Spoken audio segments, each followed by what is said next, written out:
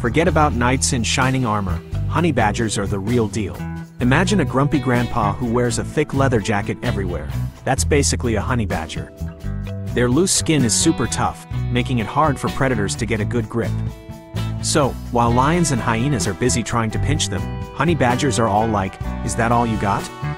Come on, try harder.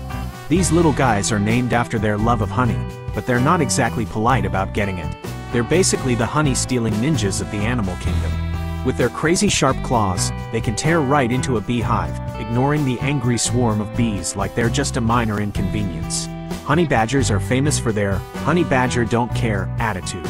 They're fearless, stubborn, and will take on pretty much anything that gets in their way. They've been known to chase away lions, fight off snakes, and even stand their ground against much larger animals. It's like they have a permanent, I'm gonna wreck you, look on their face.